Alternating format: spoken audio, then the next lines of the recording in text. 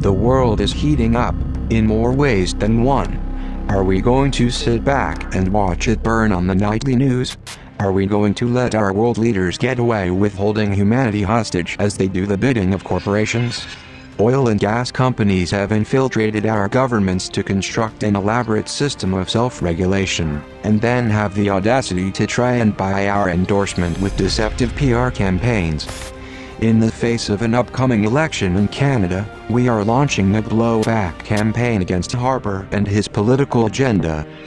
We are going to pepper television networks day and night with provocative counter messages, starting with one mind bomb, then many. One network, then many. This is just the beginning. Help us win this important battle for the future of the mental environment. Together we will take the power back and change the course of mainstream media forever. It's our move, let the meme wars begin.